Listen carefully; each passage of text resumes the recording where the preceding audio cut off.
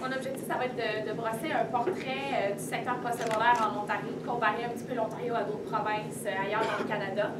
Euh, je vous avertis, malheureusement, ça va être un portrait très sombre que je vais vous présenter aujourd'hui. Donc, désolé, j'aimerais ça pouvoir vous donner une présentation parce que j'ai juste des bonnes nouvelles et où ce que je pourrais vous dire qu'on s'en va dans la bonne direction, mais malheureusement, depuis les dernières années, depuis les dernières deux décennies particulièrement, en Ontario, on a pris beaucoup de recul par rapport au secteur postsecondaire. Donc, je vais commencer euh, par parler du Canada, parce que souvent on parle des frais de scolarité en Ontario, mais je ne sais pas si vous le saviez, mais le Canada, euh, c'est le cinquième pays euh, de l'Organisation de coopération et de, du développement économique, donc de, de l'OCDE, qui a les frais de scolarité les plus élevés au monde. Donc, même sur le plan canadien, on, se compare à d'autres pays, on, on, a les frais de scolarité les plus élevés au monde sur cette note-là, je vais vous poser une question. Je vais essayer de, vous poser des questions juste pour que ce soit, on ait un petit peu d'interaction, que ce soit un petit peu plus euh, euh, ajouter le fun pour vous autres. Mais est-ce que vous savez où sont les frais de scolarité les plus élevés au Canada? Question peut-être facile, mais là, votre main si vous avez la réponse. Oui? En Ontario. Exactement, c'est en Ontario.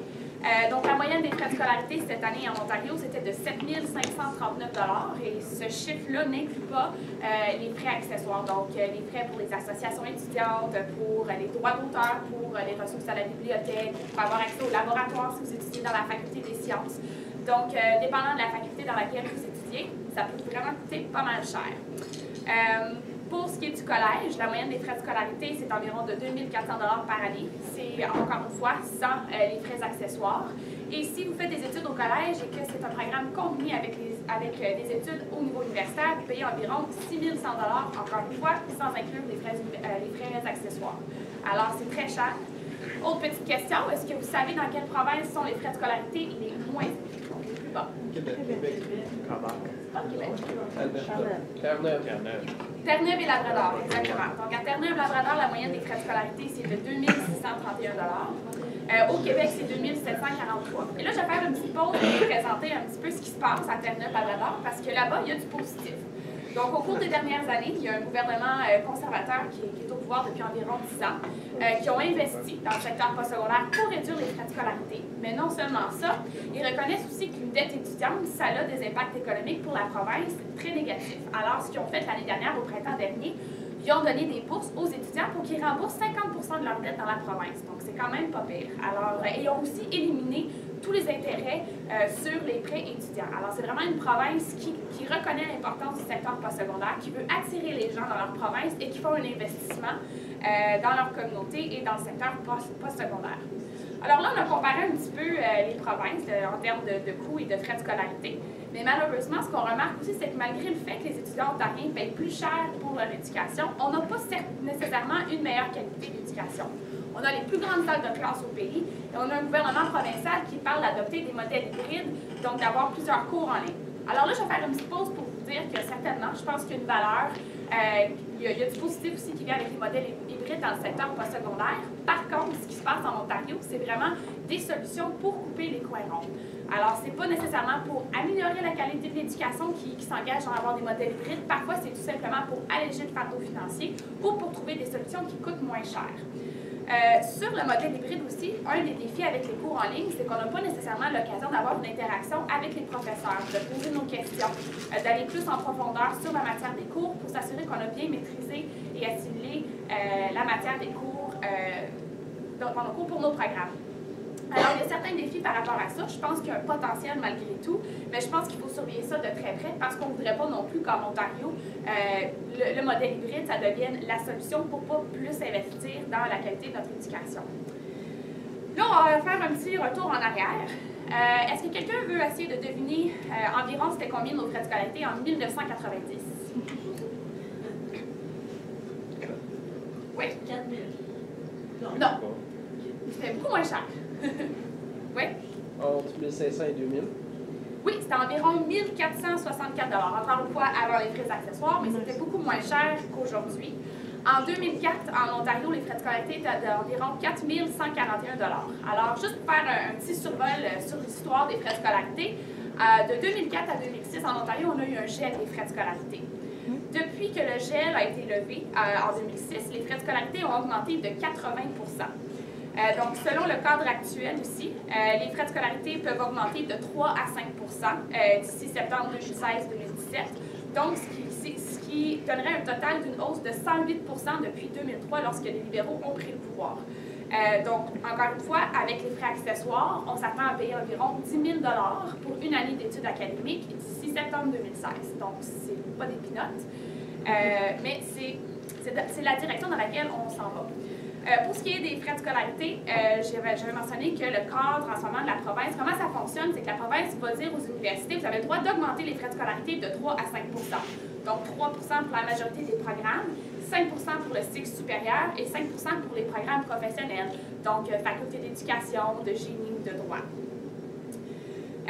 par la suite, les institutions postsecondaires vont décider si oui ou non ils vont augmenter leurs frais de scolarité. Donc, c'est un petit peu comme ça qu'elle fonctionne, cette structure-là.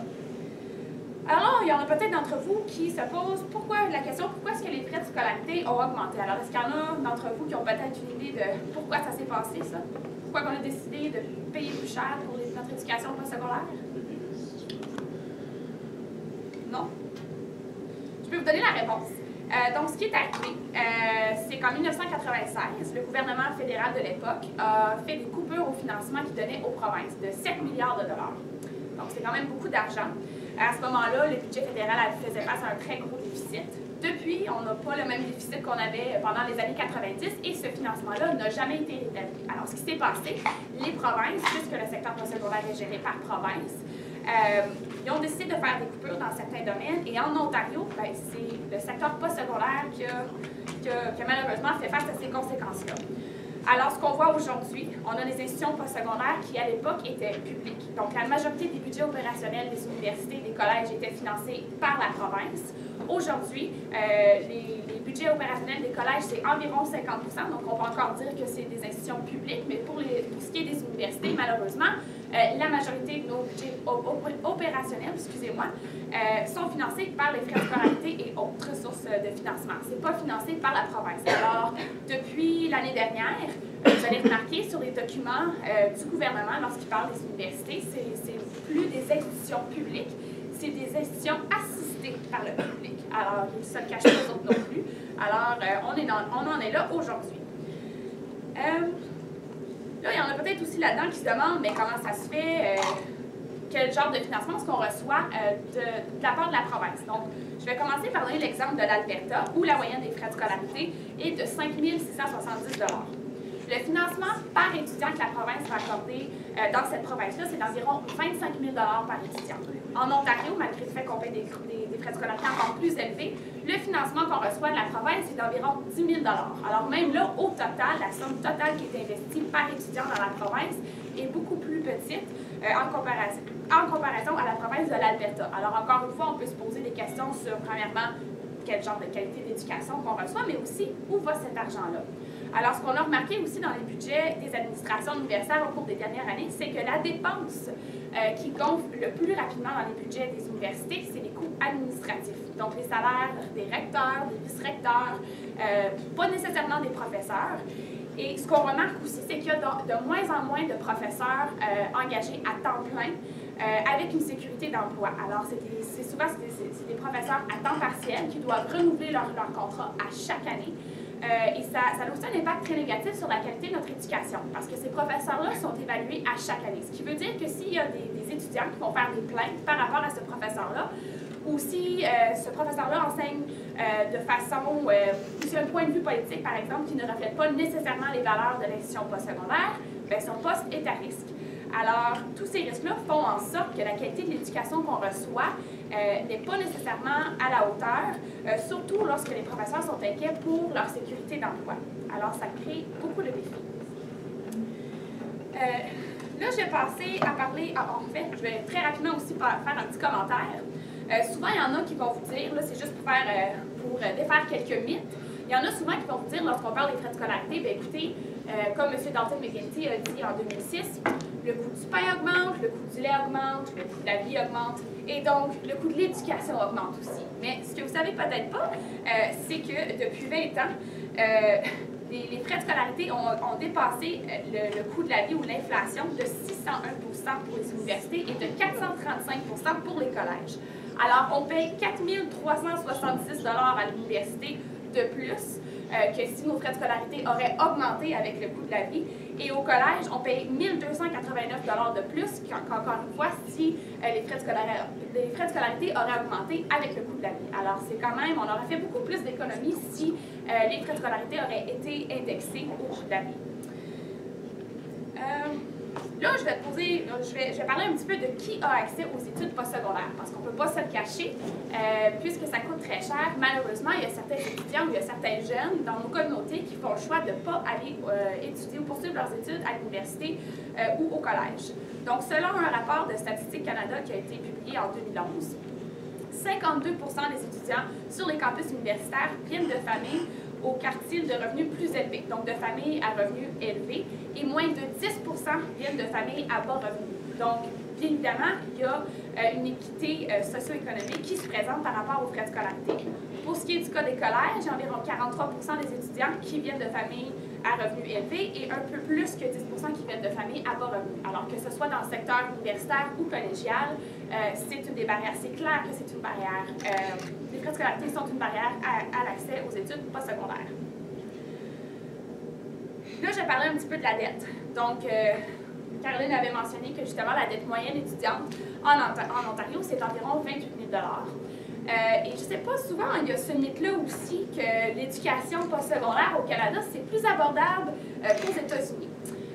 C'est pas vrai. En fait, la dette moyenne euh, pour les étudiants aux États-Unis, c'est de 28 000 aussi. Alors, on, est, on se compare à eux autres, surtout lorsqu'on regarde les institutions postsecondaires qui sont financées par le public.